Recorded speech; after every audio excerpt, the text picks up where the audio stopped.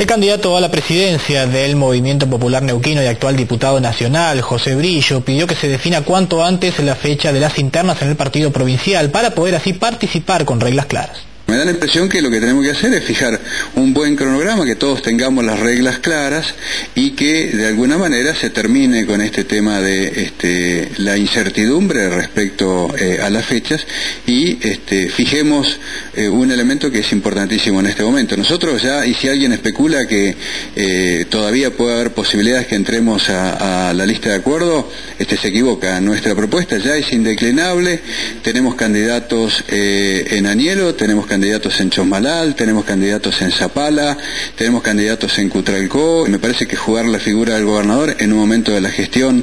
este, tan compleja desde el punto de vista de los recursos, desde el, punto de vista de los fondos, nos afecta a todos, a todos quienes somos del Movimiento Popular Noquino y tenemos la responsabilidad de hacer una buena gestión ante la gente. Incluso este, se habla de incorporar algunas otras figuras, como el caso de la vicegobernadora. Eh, yo podría ser un buen representante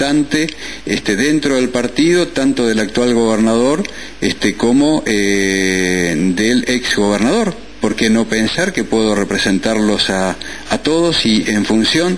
no estoy haciendo una propuesta, pero tampoco es tan mala la posibilidad de que este, yo pueda ser presidente del partido para todos los afiliados. Yo lo que aspiro es ganar, no, no tengo otra alternativa y voy a trabajar para, hacerlo. Eh, no está eh, en este escenario el análisis de qué puede pasar si el, si el, gobernador pierde una interna partidaria. Por eso digo, me parece este, que debe primar la racionalidad y preservemos al gobernador y aparte del gabinete en lo que es la gestión, que me parece que es lo más importante.